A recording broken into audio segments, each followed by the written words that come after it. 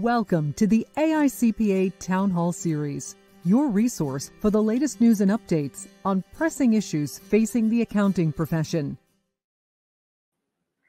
Good afternoon and welcome to the AICPA Town Hall Series. I'm Eric Asgeirsson, one of your hosts for today. And as usual, we've got a very full program. We're going to start it off with a broad 2021 outlook. And then we're going to get into the latest uh, with the legislative activities in DC talk a little bit about the final stretch we're in for PPP, and then talk about some of these other business relief programs, the Restaurant Revitalization Fund and Shuttered Venue Grant. And we always close with our open forum. You can earn CPE by responding to 75% of the pop ups. You've got that toolbar where you can download today's materials. And if your browse, if your video freezes, please refresh your browser. So with me today are Barry Melancon, who you all know, uh, the leader of the AICPA. We also have Stephanie O'Rourke, uh, a partner at Cone CohnReznick, and she's been leading their PPP and business relief activities, and she's going to be talking about the RRF program uh, today. And you all know Lisa Simpson, who leads the firm services section. So, with that, I'd like to uh, bring Barry up. Uh, another busy week, uh, Barry, as usual, and we're we've been talking to a lot of business leaders, and that's gonna that's gonna kick off our discussion about uh, the 2021 outlook. And to prep that discussion, we're highlighting here a couple of articles. An article uh, highlighting uh, JP Morgan Chase's outlook, Goldman Sachs's prediction, and some really good news related to the vaccines. And there, this is this is all summarized on this slide, and it, it starts with the pandemic and the great progress that we're making uh, around the vaccination. 50% of the U.S. adult population now have one shot, over 130 million adults in America. Very, very impressive. And we always said you, you know you had to take care of the health issue before you got the economy going. And now you look at this. You've got some some forecasters stating that 2021 we could have 8% growth. The last time the US economy grew at 8% was in 1951 and the, the feeling is this is going to last a couple of years. So we'll talk a little bit about that. With that, why is that all happening? Because demand is going up, and that demand is driving supply chain challenges. I think we're all hearing about that uh, with our small business clients. You're, you're feeling it as a, as a consumer.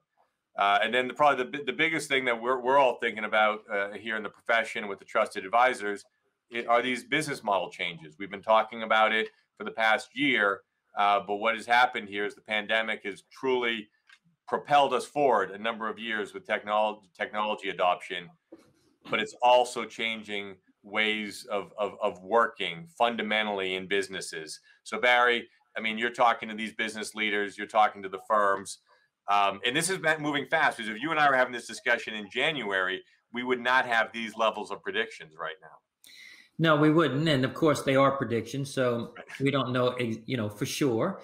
But I think it's a point of view that's very important for all of our members on this program to take into consideration. You, you know, the first thing I think about when I hear this is very early on when we started the town hall series, we had a series of slides of what's our focus, and it was about consumer confidence and it was about small firms and about that trusted environment that we can bring as uh, uh, small businesses. When I said and uh, the trusted environment. And I, I, think maybe the most important message out of here is it's easy for CPAs to be conservative. I mean, that's a mantra that we go with to a large degree. But when we talked about that a year ago or so, we, we talked about it was very important that we were a voice for business leaders and obviously our individual clients that um, that that you know there is you got to be looking down at the light at the end of the tunnel. There are opportunities here. And however you want to put your sort of own take on this, it's really, really important, I think, for our profession to be part of that mental rejuvenation and mm-hmm. seeing the light at the end of the tunnel. And that's a really important strategic thing that I think will make a big difference with the relationship with clients or your employer. It's not just you can't, there is these you can opportunities that are out here and and it's strong i mean it clearly there will be people among us who say you know, government spending is too much and it's going to be a drain and all of those things. But the fact is, is that while there are probably areas of bubbles in the market or in the economy as a whole, um, there are obviously lots of opportunities, and and you know the American entrepreneurial spirit somewhat rises over every challenge, and these people who are predicting that I think are, are, are focused on it. Yeah, yeah, and and what's going to happen is this becomes more of a reality. Everyone's waiting to see what Q1 of 2021 will be. Uh, it's it's in this range, you know, six and a half to ten percent, and you get that data point, and that's going to affect. We're going to move into the policymaker dis, uh, discussions, but that's going to start uh, affecting what policymakers do related to the next phase of economic stimulus. But there's a lot of discussions on how positive the economics, what the, the role the economic stimulus played in 2020, and there's still a lot of good good positive discussions around what it means in, in 2021. And I think you got to take the politics out of it. There's so much emotion in the polarization of politics and say, okay, the spending has been done or it's been approved. Yeah, we got some potential more legislation. So it, it is what it is. And I think, you know, our members in business and industry know about scenario planning really, really, really well. And I think as it relates to a firm dealing with a client, it's like, what if this is right? What if it's not? Now, there are some challenges on here. One is supply chain challenges. I think that disproportionately affects small business. It does affect biz, big business potentially too, but small business is a player in a in a supply chain. They're not generally the lead in a supply chain. And if we go back to our university studies and we talked about marketing and you know the the the, the sort of strategies of marketing and of course supply, who's the who's the lead in a supply chain is a very important notion. And so there's risk points there that I think we've been talking about for over a year in the supply chain.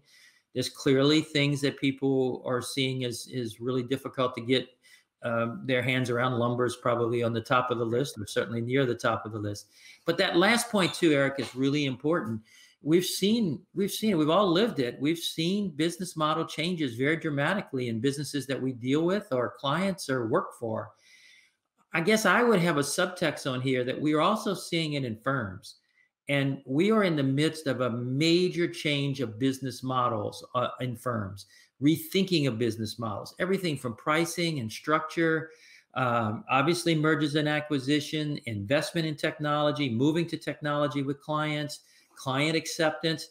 And something that's been talked about a lot in these town halls is you have to think about the opportunity strategically and what fits your firm. And when it doesn't, maybe you partner in a different way. And that's a business model change as well. Well, Barry, we're going to have an economist in a future town hall just in, in, this spring to further kind of unpack where all this is going. But let's let's us move on and talk a little bit about what's going on in DC, uh, the 2.3 trillion dollar infrastructure tax plus bill, and and a smaller bill, uh, this this PPP Schedule C retroactivity bill. Yeah. So so in in pulling all this stuff together, Eric, good job on putting the comma tax plus plan there. That's that's not how the media would refer to it, obviously, uh, but um, or maybe the administration. They, they, clearly, there is just tremendous moving parts there, and, and so I guess a couple of things that I would think about. First off, yes, you have to be aware of it. You have to be talking about it with clients, but don't expect certainty. It could move quickly, but until it actually moves and becomes law, there's going to be a degree of uncertainty. And let's also remember that. Um, the, the margins in the House and the Senate are extremely small. Even in the House, um, while the Democrats, you know, uh, control the House, Speaker Pelosi has a very, very small percentage on some days because vacancies occur when you have 435 member House.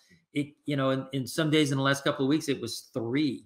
And so those are very narrow margins. And when you talk about tax and infrastructure and winners and losers and those things, it's very hard to keep a small majority like that together. And, uh, you know, in the Senate, we know it's 50 50. And um, it seems to be some of this is going to go through on reconciliation, which, which allows for a 50% vote. I'd say it this way anybody on television or whatever tells you they know exactly what's going to be in this bill. I would put a big question mark behind it. It has just got a lot of moving parts. It's going to have a lot of implications from tax planning uh, to you know just business viability and things of that nature and so uh, you, you, really have to pay attention but but it is about paying attention and thinking it through. On the ppp issue uh, you know we have been um, we have been all over this issue. This is an example of you know here president biden made a a speech about changing the way uh, schedule seers could calculate PPP using the gross method, and it's a it's a prime example of a big giant government, you know, sort of what is said and what gets executed not necessarily being aligned, and the retroactivity has been very emotional for our members, for their clients, about this. It seems unfair, and so um, there is legislation focused on this. It you know it's possible it will pass. I wouldn't say it's probable um, and even if it does, the question becomes: Is there going to be sufficient funding? So it's possible it passes with with some small amount of targeted funding in this area. It's possible, but not necessarily probable. We will keep you up to date on it. Um, there is an inequity there that early filers clearly have been treated differently. So that that is sort of some some of the overview points um, in in that space. Yeah, so just just a couple more comments on, on this slide, and sometimes we're going on and off the slides here. Uh, just a little bit more video. But regarding the retroactivity, you know, one thing that we're all watching around PPP is you have the May 31st date, and then you have when the funding runs out.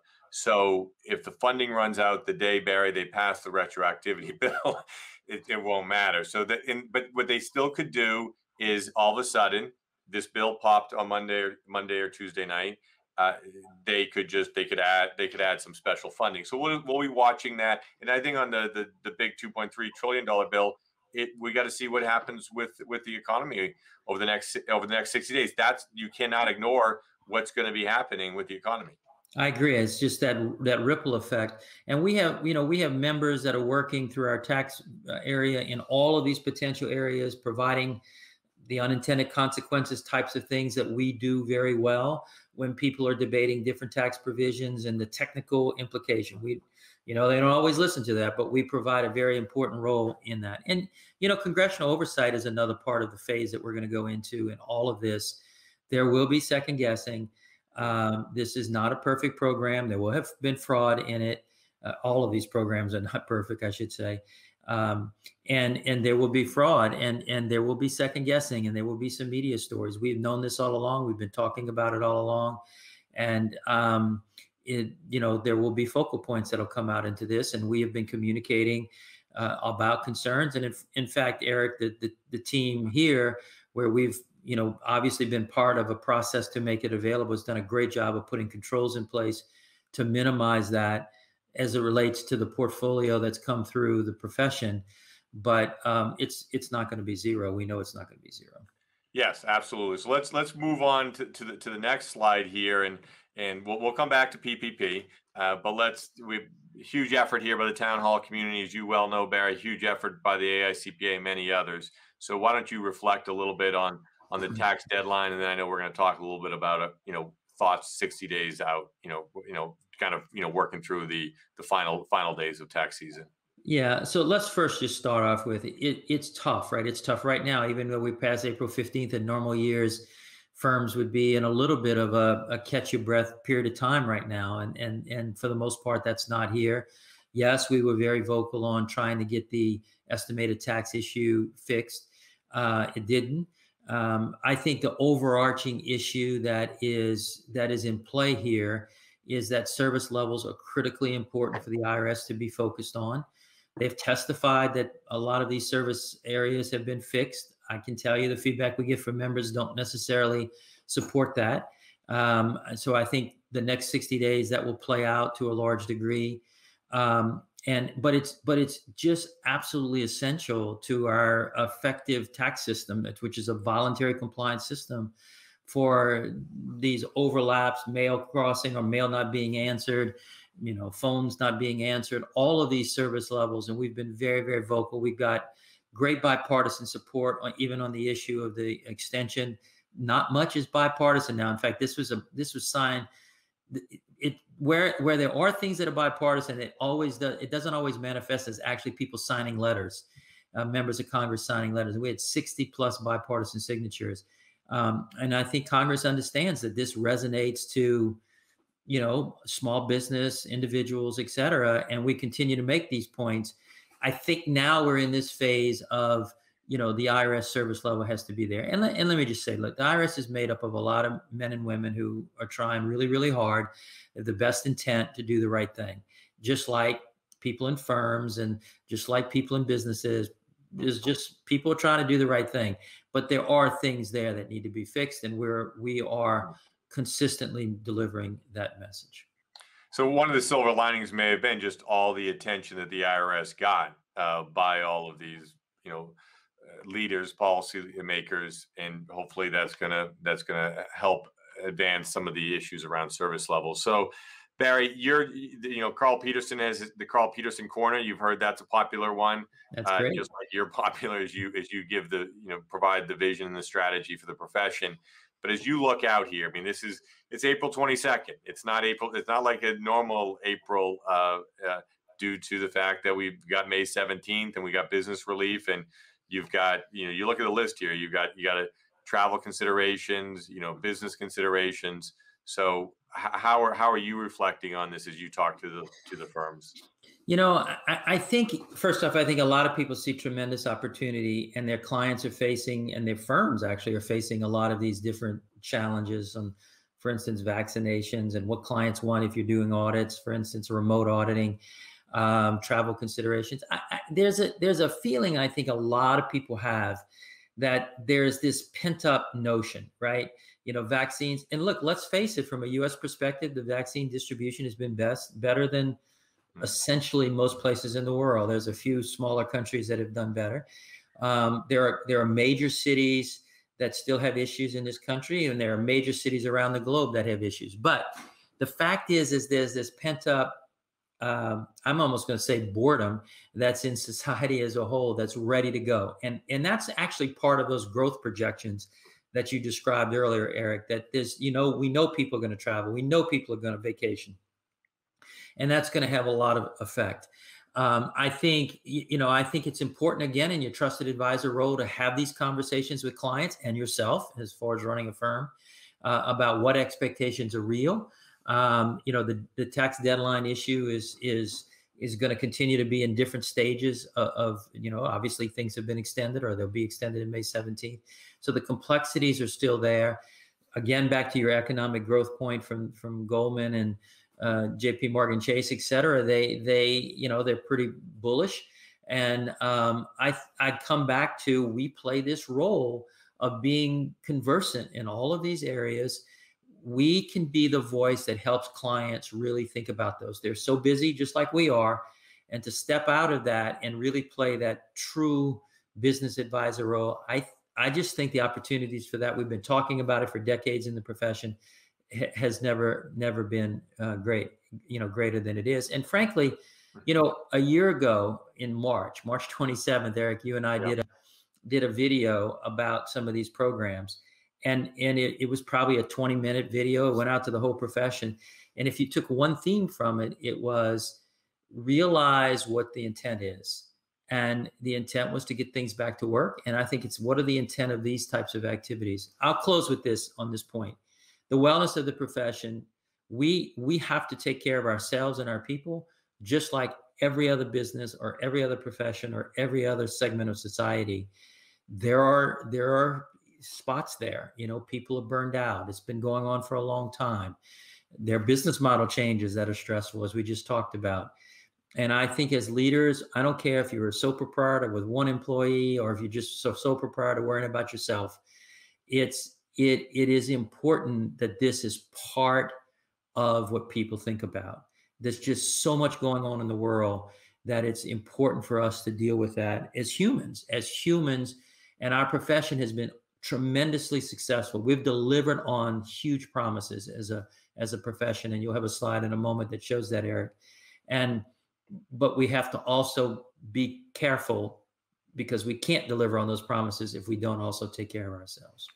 Well, I think this that was a great conclusion, Barry. Just this opening uh, section, I've, I've seen a lot of good comments just on looking at the outlook, stepping back.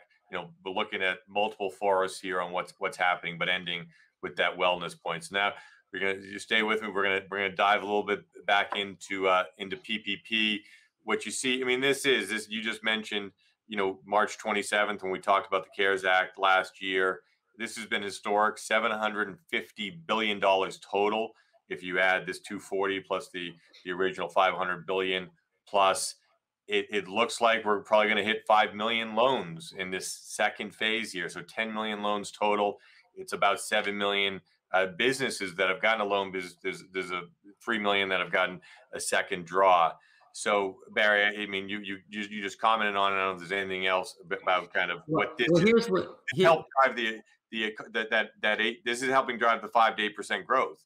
What, what, it's, what it's a huge factor. Go back to the intent. It was to provide employment, to keep people employed, and and the way forgiveness occurred, the bulk of that had to be spent on payroll, and it it has fueled the economy to a large degree. It's a big chunk of money, and it has fueled the economy, the small business community, the small business economy, and that has these huge economic ripple effects that we all studied when we were in university, and it's playing out.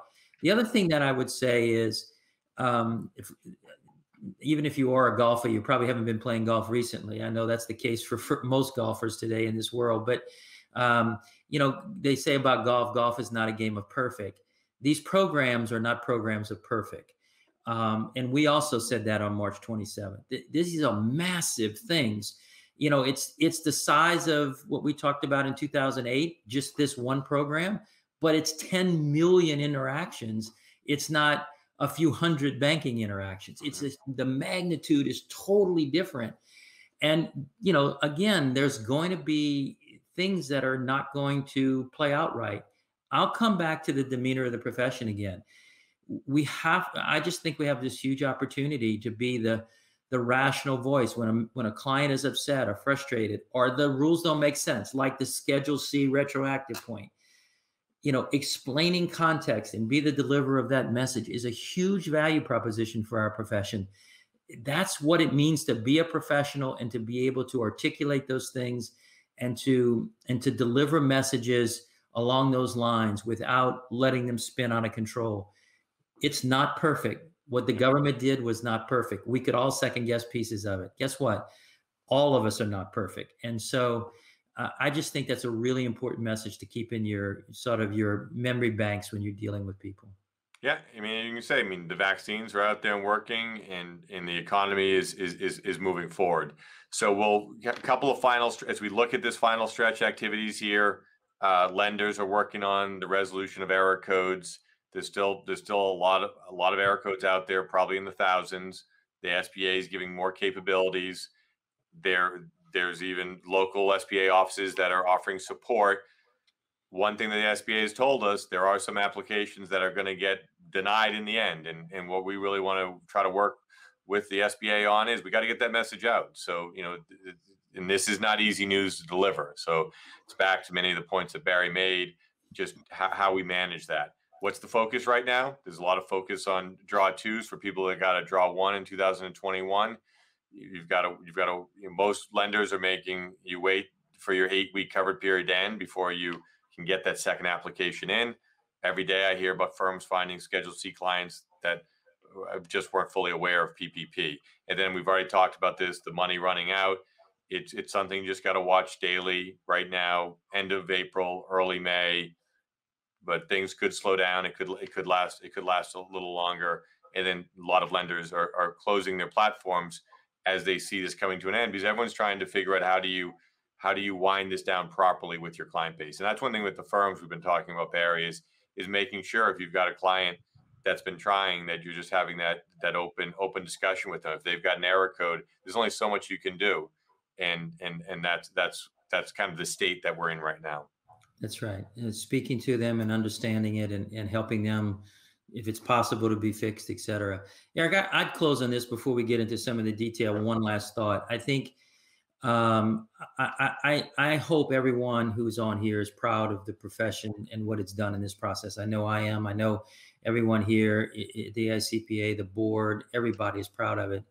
And and you know, we talked again back to a year ago. We talked about our profession over the next coming. We didn't know how long it was going to last and how many programs there were going to be. We're going to be the equivalent of the medical profession hmm. for the, the business community, particularly the small business community. We've delivered on that as a profession. Each and every one of you who've been on these town halls, you should feel extraordinarily proud of that. Mm-hmm. And and I think as we get into sort of this second year, um, look, take some of these materials and speak about it at a you know, at a business league when it, you can have lunch meetings again in your town, or if you're on the local chamber board, take 10 minutes, get 10 minutes of agenda and airtime, explain the magnitude of this and, and, and, and, and, I, and, you know, communicate as well about the role the profession has played. Uh, I think we deserve to, to reinforce that in the business community. Collectively, it is just an incredible story. That's great. Great, great close there. And, and let's bring Lisa up and we're going to talk about forgiveness. And Barry, I think it's something, it's so important to talk, tell that story that you just mentioned for the your local community and just we made payroll. I mean, I, I, we were on a call with a, a past Treasury official uh, a week ago, and he said he said to us, he goes, "Do you realize seven million people were being laid off every week?" He says, "There's no way the unemployment offices in America could have processed them." So what they did was they did this program with the firms, with the lenders, because it would have brought those systems to a crawl and then so we put these we put these other arteries in place. So I think it is good. I think it's good to reflect and and people want you know people are going to want to hear the story about how all these vaccines got made in one year time and they said it was going to take three years. So Lisa, we can go. We can. We're probably running. We can go on and on here. But Barry, with this last slide, you might want to even have a comment on this. We got forgiveness. Let's bring the forgiveness slide up. And Lisa, I know this is something that you get questions every day on. Uh, is related to where are we at, and we're at above fifty percent. Yeah, and that's great news. We're hearing that the SBA is approving 97% of their forgiveness applications within a week. That's what they're reporting. Uh, if we talk to lenders and if I look through the Q&A from the town hall, it seems like a different story. Um, so we've got hundreds of questions about what's going on with forgiveness. Really quickly, um, it is beginning to pick up, but it's still going slow. We've gotten some success stories from the lenders we've been talking with, but there was a, a $2 million loan that had been at the SBA since July that just got notice that had been forgiven.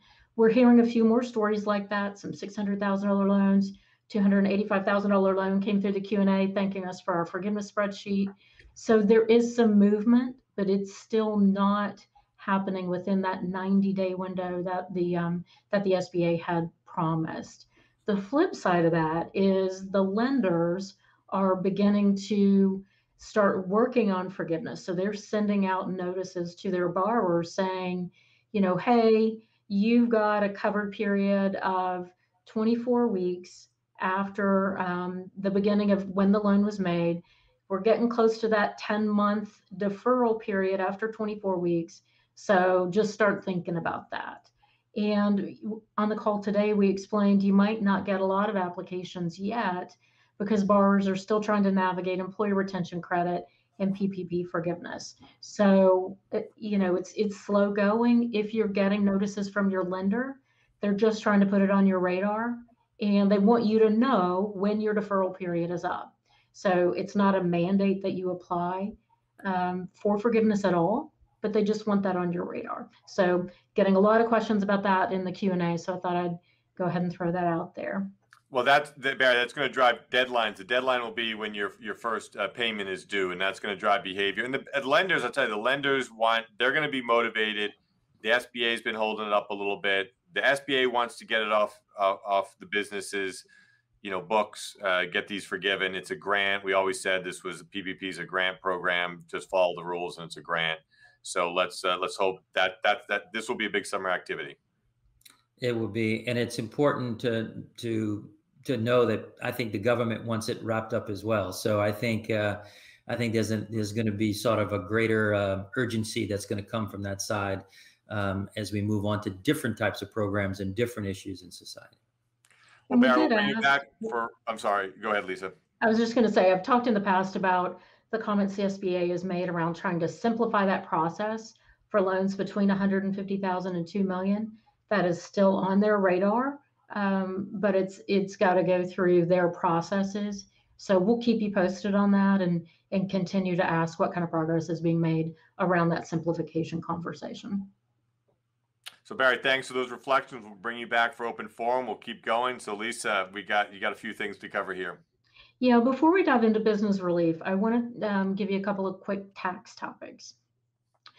About a week ago, I guess, since it's the 22nd, we started hearing buzz around um, CPAs whose clients had submitted um, electronic funds requests to have their estimated payments withdrawn from their accounts. Something happened, the um, payments didn't get withdrawn, and so obviously that's cause for concern. We've reached out to the IRS and they have acknowledged that it was a glitch in their system, as yet an undefined glitch, but they say that it has been resolved. So, a couple of key things. The IRS is saying do not take any additional action. Make sure you've still got the funds in the account, but um, don't take any additional action at this point in time.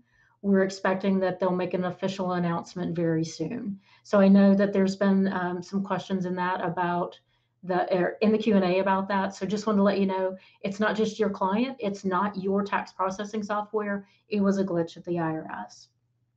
Another quick um, tax question that we're getting is around, have we gotten any information from uh, the IRS clarifying how to record PPP loans in, in um, the standpoint of basis? And the answer is no. We still do not have that guidance. You will hear us um, tweeting and posting on LinkedIn and writing JofA stories about it as soon as we get any information, but not yet. So, a couple of big tax topics on our agenda. Well, thanks, and that brings us right back into business relief here. Business relief. So, I'm I'm kind of keeping this just as as a refresher for you, so that you can see the holistic approach to business relief options at the federal level. And we'll talk about um, PPP a little bit. We're going to dig into the Restaurant Revitalization Fund. Today, we've got a, a great guest joining us on that topic.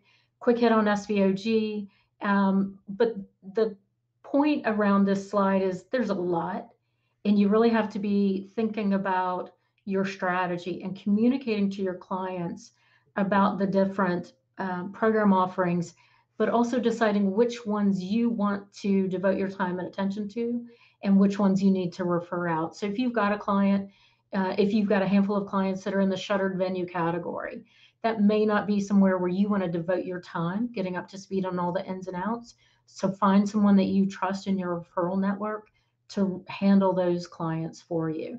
That frees you up to work on some of these other programs that might be more prevalent or more relevant for your client base. So um, on ERC, just a quick note, lots of questions about, are we getting any additional guidance there? Did we get answers to our questions about um, shareholder wages being eligible and spouse wages being eligible? Still advocating for that guidance.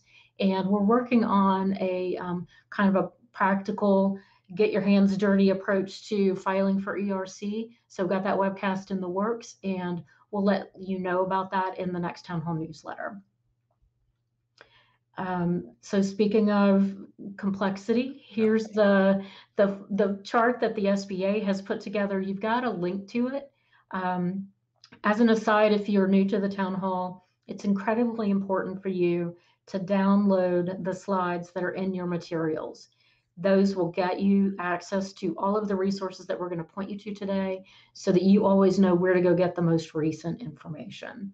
So again, it's it's getting to be an eye chart. We're we're getting used to these eye charts, but this one's a pretty good summary as you're talking with your clients or put this on your website or put it in a newsletter so that you're making them aware of the programs and the interplay between the, all of the offerings. Yeah, a lot of nuances. We'll talk a little bit about that maybe even in open forum. A lot of nuances. Um, really quickly, just a reminder about the resources that we have around PPP. So on this and the next um, next slide, you'll see some of the resources that'll dig into the questions that you have around PPP. I'm highlighted on um, a slide that in purple, we've updated the um, calculating the revenue decline. So that's one of the common questions that we've been getting. And on the next slide, um, we'll take a look at the answer. And unfortunately, I don't think it's an answer most people are going to want. Um, but the question has been since the launch of the second draw are um, other grant funds, other CARES related funds included in gross receipts when calculating your 25% revenue decline? I was able to get an answer from the SBA, and the answer is unless it's PPP or EIDL, it is included in your revenue calculation. We asked a deeper question about what about not for profits and restricted contributions?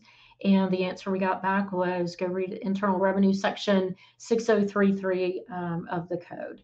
And basically, that's an answer that says, yes, restricted contributions are included in gross receipts, even though we fully acknowledge that that doesn't make sense because you can't use those to make payroll or pay rent, that they are restricted. So unfortunately, we have an answer. Um, so we've got some closure around it, but it may not be the best answer for our borrowers.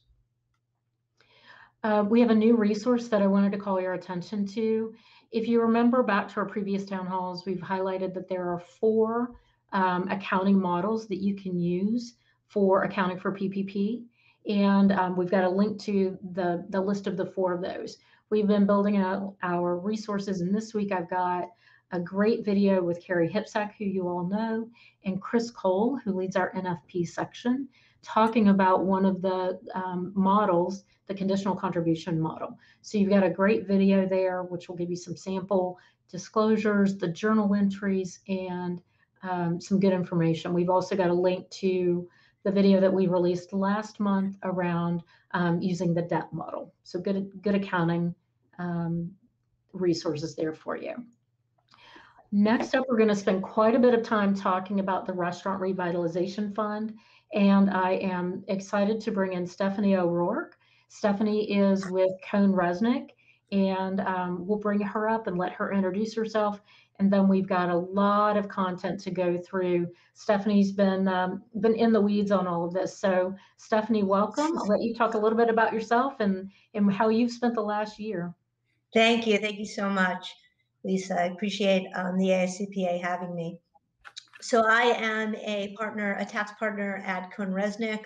We actually formed about a year ago an SBA task force, which I co-lead, and that is to go through all these relief programs. So help clients understand and navigate through the various programs, the like you spoke about the interplay with the programs and and uh, the rules and regulations, all the rules and regulations around them. So um, while it's been the most challenging year of my life, um, career-wise, it's probably been the most rewarding as well because we really have helped numerous clients and friends of the firm really understand and get through, you know, get through the other side uh, of the pandemic. I also serve as I, I'm one of the leaders in our hospitality our hospitality um, industry practice. I am I lead the emerging brand um, emerging brand division as well as the operational and financial consulting. So I'm I'm advising clients every day and again navigating through this and so it was natural that I was going to be because my industry, hospitality, was so affected that I was going to uh, be leading those efforts. So, and again, I am leading the efforts on uh, with my team of 50 people um, of the, you know, fortunate to have those 50 people, the Restaurant Revitalization Fund as well. Great, thank you. So at a high level, we've talked about the Restaurant Revitalization Fund in the past, but I wanted to bring Stephanie in because she's got such great insights from answering the questions her her clients are already um, throwing at her. So if you look at it, you've got 28.6 billion. It is a grant program. It's direct through the SBA and it's designed to replace revenue lost during the pandemic. It's not open yet. And Stephanie, I know that you've been talking with the SBA and, and attending some of their town halls. What are you hearing about the rollout? Sure. So about four days ago, they uh, tweeted that um, and um, had some articles that they were in the next two weeks, they were coming announcing the pilot program, which is basically they're going to take PP, it's a seven day program to, I guess, work out some of the kinks. And um, they're trying to learn from lesson, you know, lessons um, the lessons that they they had through PPP, some of the mistakes that were made in the past. So it's a smoother rollout. So that will be a seven day pilot program. They haven't announced when that's going to start. And once that seven day pilot program is over, then all applicants can can apply. So I'm thinking sometime in May is realistic, seeing that it's um, already April 22nd at this point. And there's a prioritization plan for this program, right? So Correct. everyone can apply when the portal opens, but they're going to do some set asides. Yes, there do, there's there's many set asides, but um, in in speaking to the SBA and some of the town halls that I've attended, they're encouraging everybody to apply on day one because they want to they want to really go back to the government and say, I know that you gave us $28.6 billion for this program, but we have pending applications for maybe $128.6 uh, billion. So if you could please replenish this fund or start thinking about replenishing this fund for an industry that has been, you know, obviously dramatically affected by, by the pandemic. So they're, um, so they are encouraging, but there there is there are some there are you know set asides and, and carve outs, and that's about nine billion dollars. So when you do the math for everybody who is and, and they're really Main Street, Main Street, you know, the smaller guys and gals that probably will not get through the next three, maybe six, 12 months without, you know, nine, 12 months without um, some additional relief. So it's basically the carve outs are anybody from $1.5 million below. Um, where they're they're carving out that money, so it's it's roughly about nine nine billion dollars. So again, for the rest of for anybody over that who had revenues, you know, gross receipts of more than 1.5 billion dollars um, in 2019, they're going to be on that second, you know, they're not that second tranche, but again, they're not part of that that carve out. They're not going to get some of that preferential treatment. And then you have the 21 day period where the SBA is going to be reviewing those, whether it's a woman owned business, a, uh, a woman owned, a socially and economically disadvantaged, or veteran owned businesses. And I, I do want to point out because uh, I've gotten many phone calls asking me, well, what if we change our ownership today?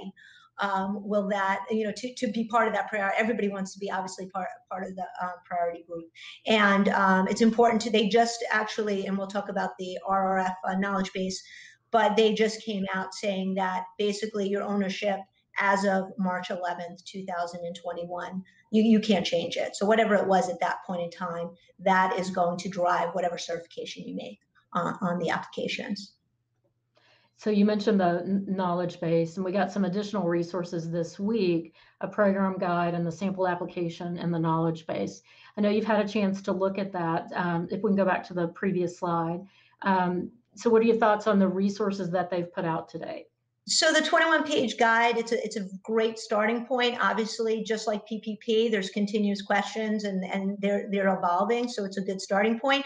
And i will encourage people to go back because they are updating it. They released it on 417 and they had updates on on 419 so I, I would encourage everybody and they don't tell you exactly what's been updated but i would encourage you all to look at it on a regular basis for your clients and encourage your clients to look at it. The knowledge base is very interesting um, and the, the 16 page, you know, sample application, that's, you know, it's pretty cut and dry um, for sure. And, and hopefully every, you know, the, the applications mirror and, and when they have their partners, and we'll talk about that a little bit later, that they're, they're going to mirror those applications because people are already doing draft applications. I know my clients are already, you know, getting prepared and doing those draft applications. The knowledge base, it's interesting. Um, there's some misinformation. I've noted some misinformation. Um, you know, they talk about they're unsure about the taxability of um, of that, and we know from the from the actual American Rescue Act that it, they noted that it would not be deemed taxable. It's a tax free, um, you know, grant, and that the expenses will be deductible. So that's you know somewhat misinformation, and there's also some conflicting information in there when they tell you in in some of the questions it's it's it's positioned like an FAQ and in some of the questions they'll say you can you know each underlying EIN has to um, apply for their own grant. And then in another question, they'll talk about, well, if you got a PPP, if you got a PPP on, in a holding company with the underlying entities that have EINs, their own EINs, well, then you're going to do it uh, at the holding company level because they're trying to marry that PPP and you know that PPP loan and to automatically apply it, automatically populate it into your into your application, into the, the applicant's application. So they're going to be, it's going to be a situation where they're going to marry, marry the two. So you have some conflict there um, in many instances. So almost take it, you know, with a grain, you know, like it, it's useful. It's definitely useful, but I think there's going to be questions, further questions that are going to spur from that for clarification. And, um, and they are adding to it, adding to it every day. So, so look at, apply for the alerts I have an email for the alerts um, from the SBA as practitioners. I think everybody, if you're if you're involved in this, you should definitely be aware of everything that's coming out in a timely basis, so you could communicate it to your clients, uh, your client base for sure. But um, I think there'll be uh, again, I think there's going to be a lot of uh, clarification that comes through. I'm not sure, you know, I, I know they're trying to get as much information out as possible, but again, it's not all accurate. Yeah, yeah, great, great point. So on the next slide, we list out some of the eligible entities and ineligible entities. Um, we got some some information this week. Nonprofits are not included, and um, permanently closed operations are not included. There's some other details um, about ineligibility. There's a great chart in that guide that we gave you a link to on the previous page. But what kinds of questions are you getting? What's your most common question Stephanie, on, on who's eligible? Actually, yeah, sure, coming from hotels. So to hotels who have restaurant operations, um, and they're they're housed in one EIN, and so um, they're not bifurcated at all, and they don't they're not separate and distinct, and the, they are not. And, and the SBA has come out and, and basically said unless it's a it's a, it has its own EIN, it's a separate, distinct um, legal entity, then you cannot participate. But interestingly enough, inns are allowed to, participate. Now, there there are certain limitations around um, or thresholds that have to be met if you're an inn on the 30 33% of gross receipts um, test, but it's they're, they're being shut out. And then they use an example going back to going back to the um, knowledge based which is interesting. They use an example if that you have a dry cleaner and a restaurant in the same EIN. Why you'd have that, I don't know. But if you did, then you could strip out the restaurant. You could strip out the restaurant gross receipt. So again, a lot of inconsistency. So that that's that's really um, a big a big question, and also the permanently closed. So you have a lot of entities that they might have handed over the keys. A lot of locations they handed over the keys to the landlords, but they haven't legally closed the entity. So in their minds, they're saying, well, maybe I could find another space. Um, maybe I could do something a little bit differently. Um, there, I'm sure there's going to be additional clarity on that. I think the intent is for people who have really move you know if they if you if you really closed you shouldn't be participating you shouldn't be participating in this program so i think again there's a lot more questions that are going to need to be answered and clarifications and and you you know you're making certain certifications your clients are making certain certifications and um, they need to understand the ramifications of making a certification that may not be true. So, on that point about permanently closed, we know so many restaurants were closed temporarily. Um, so, they may have been shut down for three months. Now they're reopening at uh, partial capacity. That doesn't mean they're permanently closed. Just because they were closed for a few months doesn't mean they're permanent. Yes, that's fine. They, yeah, it's it's really permanently. Think about it is if your if your client is a restaurant operator, they basically handed over the keys to the landlord and yeah. and shut down. That okay. that's that's where we're at. And a quick point on gross receipts. It's not um, some of those uh, different entity types have uh, a threshold of 33% of their um, sales have to be on site. And that's not as intimidating as it sounds. When I first read it, I thought, sounds like a pretty tough barrier for a bakery. But if you read the definition, it's more generous than that. So just um, just take note of that. Right. I, right, I will. I will just can I can I just on the on the just the mm-hmm. something to note that's a question that's come out and the actually the SBA has addressed it. Um, for restaurant for your clients and restaurant operators, restaurant operators that have pivoted, done a good job, and done a lot of third party delivery, and they were able to um, they've asked a ton of my clients have asked me, well, it's you know it's not the same type of revenue right? Because we have to pay these large delivery fees. So can we reduce in 2020 can we reduce our deliver our revenue by the delivery fees? The sba has addressed it and the answer is no to that. So every so you, you should inform your clients and uh, obviously if you bring them to the knowledge they'll, they'll see that. So next up we've got how do you apply for the grant and and there are three ways under this program that the SBA is offering. Um, the portal is pretty straightforward. There's a telephone option if you've got, um, you know, a small business who may not have access to internet. Um, they can actually call in and then follow up in the mail. But I want to focus on this one about the the point of sale partners. And um, Stephanie mentioned signing up for the alerts from the SBA. One came out just before we got on the call. about um, the SBA announcing this point of sale partner initiative. So, Stephanie, you've done some looking into this. What do you think about it? So, there's a couple of things that um, the practitioner's client should be aware of. First of all, every single partnership doesn't mean that you know some they're serving different purposes. So some probably like a Square who did the PPP loans and and has those capabilities. There's probably they're in the the SBA trans system already. Um, they might be doing full on applications. But then you have other point of sales companies that are only doing sort of like application packages where they're getting the sales, right? So they're getting the revenue portion for for to in order to submit. So they're not all partnerships, let's just say, are not created equally. And it, don't make the assumption, your client should make the assumption that you could def you could go through one of these POS companies.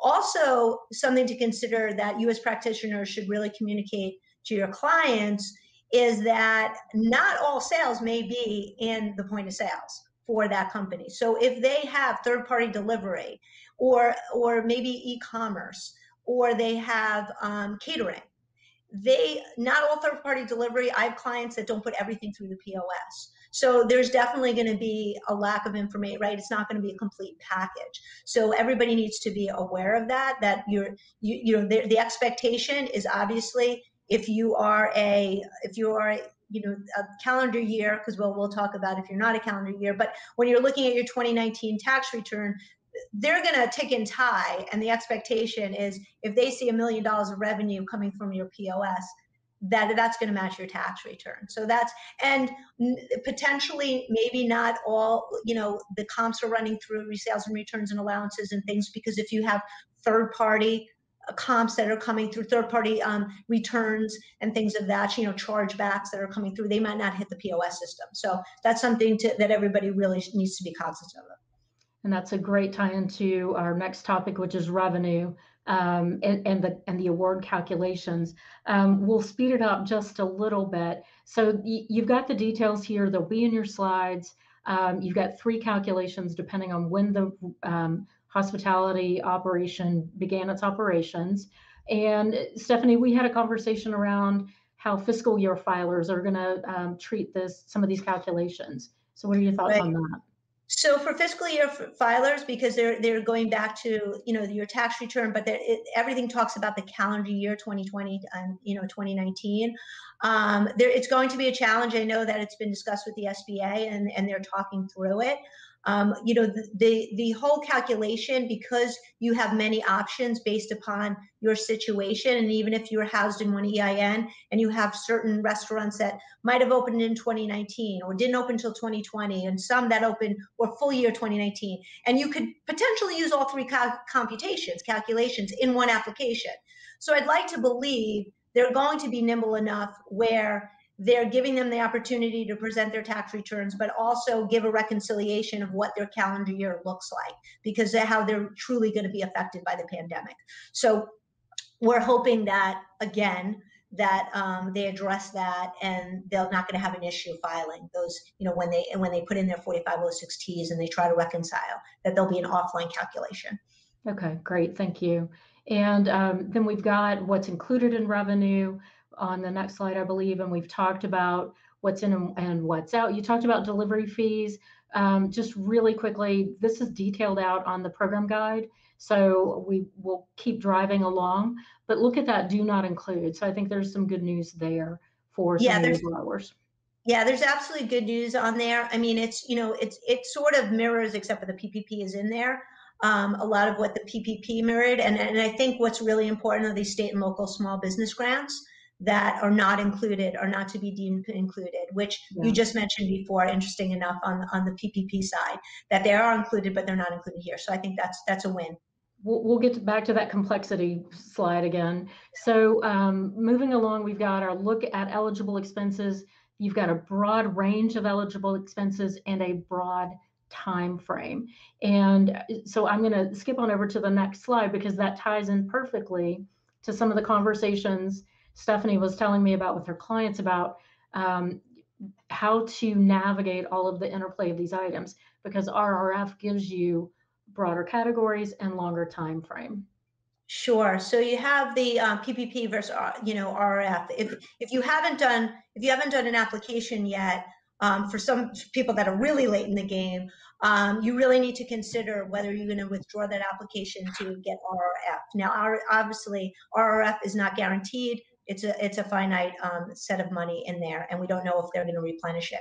So there's there's that. There's also the interplay between all the programs. If you already have done ppp if you're lucky if your clients are lucky enough to get the rrf and if they're exploring erc so there's an interplay it's you know the strategy between all three programs and getting let's just call it the best bang for its buck right? Getting you know being able to get full forgiveness optimize on ERC, and then being able to, to utilize that. So, you know, I'm going to dovetail on how CPAs can help, right? They're going to, they're going to be able to help on the application process, right? Understanding when it's not so cut and dry, 2020 as 2019, um, knowing what to include, what not to include, you know, giving that that last final approval. Um, but for the companies that have not opened all of 2019 and they're using calculation three, that gets a little bit more complex and making sure that they're including the right expenses eligible because it's eligible expenses. So making sure they're including that. Also, you know, on owner's pay, we didn't really talk about that, but that's something that's, you know, that has been addressed. And it's interesting on S corps that the salary they're thinking about including the salary, but on guaranteed payments are not are not included as an eligible payroll cost, which absolutely makes no sense because it's just the, the, the way partnerships work as compared to um, you know S corps. Um, so you know it's really how can you know CPAs help? It's you know through the PPP it was the forgiveness process and obviously the application process. But you know it's it's really that interplay.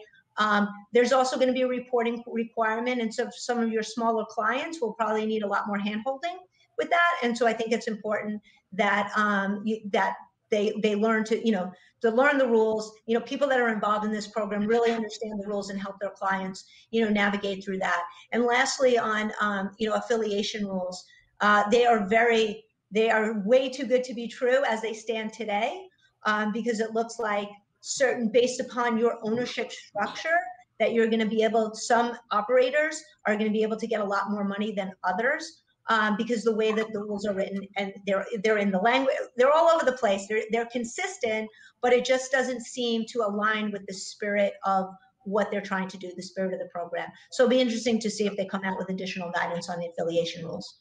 So we'll keep you all posted yeah. on our on our next town halls if, if we get any changes there yeah. Well, Stephanie, that was fantastic, and um, we will. I mean, this is this is kind of week one of RRF. We're going to be going. Um, we'll be talking about RRF, obviously, in the month of May. So more to come there, and lots of good questions, lots of good feedback. But we we got a quick lightning round here. Because We do have some questions coming in, but we'll make this quick here.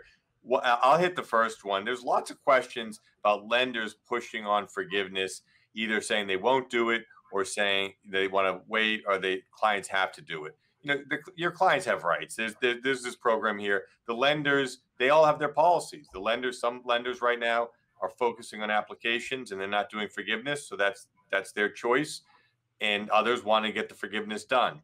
So I, I think this is something that uh, you you should understand, but you know your clients shouldn't be pushed into forgiveness per se.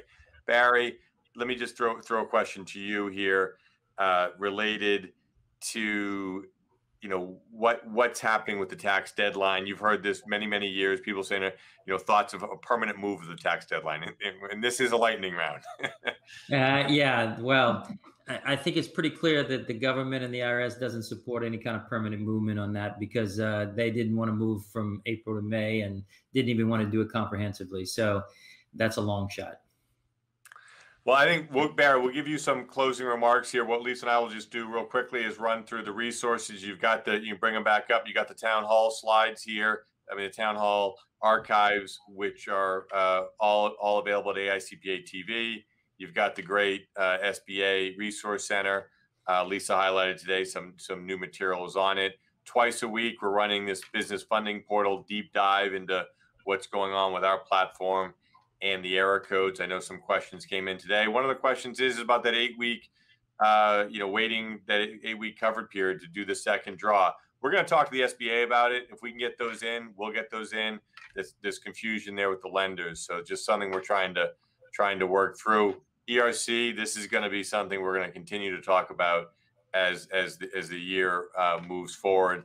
and a new PPP uh, chart. So we, we leverage social media to, to stay informed. And Barry, sometimes it is. We've got so much information. Your your opening section, your outlook was, was very well received, as as Lisa and Stephanie's section was. I'll give you kind of the the, the closeout uh, for for this week's town hall. Well, I mean, first off, we know it's complicated and it's tiresome and all of those things, and it's it's it's real. And so, a go back to my take care of yourself and be aware there. I, I would just say again in this trusted advisor notion, the interworking of all of these things and what opportunities are there for your clients. I know it's complicated. I know it's hard to predict because of those issues, but it is probably what your client or your employer is counting on you to do. And I think that that's something to, to put some attention on. Thank you. See you. See you on May 6th, 3 p.m. Thanks. Thank you for your participation. You can now subscribe to the AICPA Town Hall series on your favorite podcast platform, as well as watch archives on YouTube and AICPA TV. Tune in for live broadcasts Thursdays at 3 p.m. Eastern Time.